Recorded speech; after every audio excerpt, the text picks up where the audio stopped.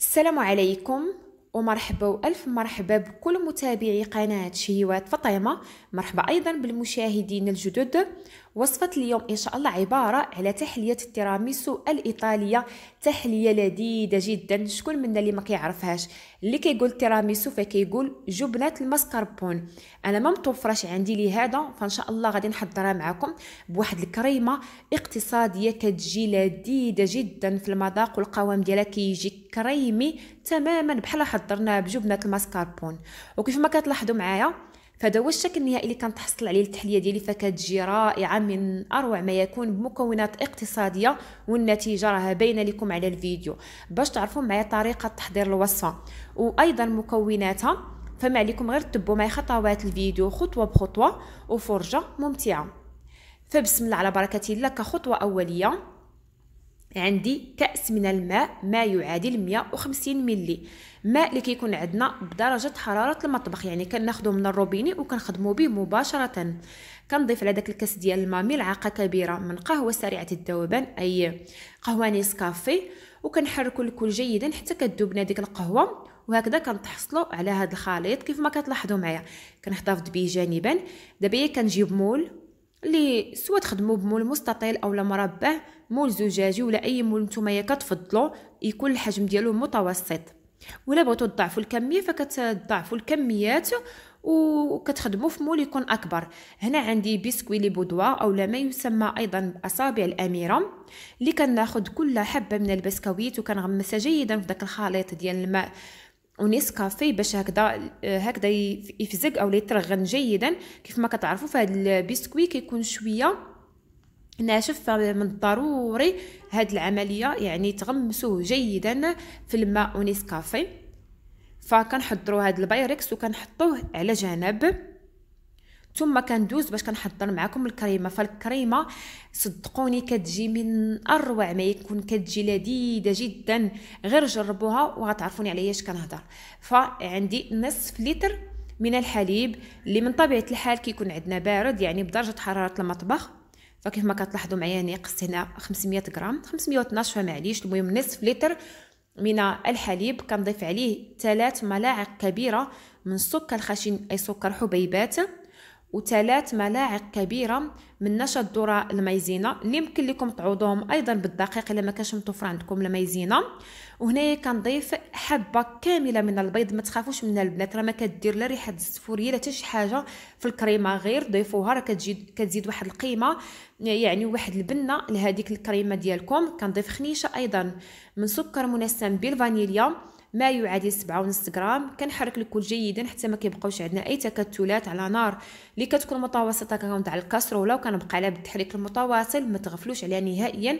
حتى كتحصلوا على كريمة كتكون ملسة وكريمية الملمس ما كيكونوا فيها حتى شي حبيبات أو لا كتع كتكتل لكم أو لا. المهم ما تغفلوش عليها كتبقاو تحركوا حتى كتحصلوا على كريمة. على هذا الشكل كتلاحظوا معايا. هنايا خديت الصورة من زاوية أخرى فما تكونش بانت لكم ولكن راني ضفت ملعقة كبيرة من الزبدة. فدابا هي الزاوية مقادة ديال الكاميرا. ملعقة كبيرة من الزبدة اللي كنبقى كنحرك فيها جيدا باش هكذا كتعطي داك القوام الكريمي للكريمة وما كتعقدش هي بسرعة. الوقت اللي أني مازال في التتمة راني غادي نحضر آه غادي نحضر مازال طبقة أخرى من البسكوي وداك الشيء كامل اللي غتلاحظوا معايا. هنايا كنضيف واحد الحك أو كأس من ياغورت طبيعي يعني زبادي طبيعي بدون أي نكهة. كيعطينا واحد المذاق زوين حتى هو في الكريمة ديالي وكنحرك الكل جيدا.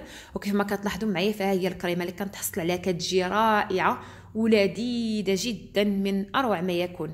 فدابا كنحاول نقسم هذيك الكمية اللي عندي من الكريمة على زوج. يعني دابا في هذا الطبقة الأولى ديال البسكوي كنضيف الطبقة الثانية ديال الكريمة كيف ما كتلاحظوا معايا على هذا الشكل. صافي كنحاول نوزعها على واحد الشكل اللي كيكون متساوي. ثم كنضيف الطبقة الثالثة من لي بودواغ اللي من طبيعة الحال راني كنغمسهم جيدا كتغمسوهم مزيان في في هذاك الخليط ديال القهوة. ثم كتقطروهم شوية عاد باش كتوضعوهم فوق الكريمة ديالكم. كتبقاو مستمرين على هذا الشكل. إلا بانت لكم مثلا دوك إلا بانت لكم شي قانت أو دوك الجوانب ما يعني ما كفاتهمش واحد الحبة من البسكويت فكتقسموها بالسكين وكترمموا داكشي حتى كتغطيو ديك الطبقة ديال الكريمة ما كتبقاش تبان نهائيا. عاد باش كتضيفوا الطبقة الأخيرة من الكريمة. وكيف ما كتلاحظوا معايا فالكريمة هي راه كتهضر على راسها. نتوما كتشوفوا القوام ديالها كيف كيجي فكيجي كريمي رائع. كنحاول تاني نسطح الوجه تاع الكريمة كنسوي بهذا الشكل لواحد الطبقة كتكون مستوية. ثم كنصبر على ديك التحلية ديالي حتى كتاخذ ليا درجة حرارة المطبخ لأن الكريمة كتكون مازال باقا سخونة. عاد باش كندخلها للثلاجه تبرد جيدا وتماسك فمن بعد ما بردت وتماسكت دابا غادي ندوزو لمرحلة التزيين. فهنايا كناخذ هاد جوج ما عرفتش نسميهم. فرشيطات ولا المهم راكم راه سميتهم باينة. صراحة ما عرفتش السمية كاع طار ليا من بالي كل شيء صافي كنخالفهم. أما كتعملوا سكين أما كتعملوا بحال هاد اللعيبات أما معلقات المهم نتوما الشكل اللي بغيتو.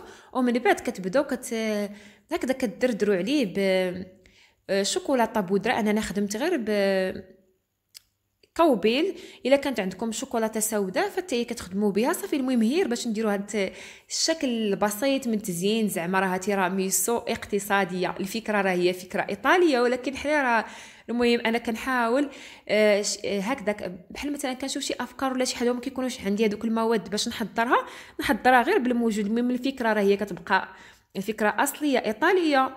وداك الاجتهاد كيبقى اجتهاد ديالنا فماشي ضروري خص يكون عندنا يعني الماسكاربون اولا هذيك البودرة ديال الكاكاو والمر باش نخدمو إلا ما كانش من من حنايا. اللي عندنا راه حنا كنقضيو به والمهم هو أننا في الأخير كتخرج لنا واحد الحاجة كتكون لذيذة في المذاق والمهم وكنقدموها بالصحة والراحة لعائلاتنا. كتجي صراحة من أروع ما يكون غير جربوها وإن شاء الله أنا متأكدة غادي تعجبكم. وهنايا راه غتبقاو مع الصور إلا بغيتو تشوفوا الوصفات اللي سبق ليا وحضرت معكم في هذا الشهر الفضيل فوصفات آه، تحليات أيضا آه، مملحات. كنتمنى إن شاء الله تجربوهم وينالوا إعجابكم. وشكر موصول لكل الأخوات اللي كيساندوني وكيدعموني وكتخليو لي تعاليق اللي كتفرحني. فكنقول لكم جزاكم الله كل الخير شكرا أيضا للأخوات اللي كيطبقوا الوصفات وأيضا كيتشاركوا معي عبر صفحتي على الإنستغرام. فشكرا لكم جزيلا. كنقول لكم بسلامه عليكم وفي أمان الله إلى حلقة قادمة إن شاء الله. قبل ما نسالي الفيديو إلى عندكم أي اقتراحات لأي وصفات بغيتوني نحضرها معكم إن شاء الله في هذه الأيام المتبقية من الشهر الفضيل. فما عليكم غير تخليوا لي اقتراحاتكم أسفل الفيديو في خانه التعليق. فبسلامه عليكم وفي أمان الله إلى حلقة قادمة. إن شاء الله.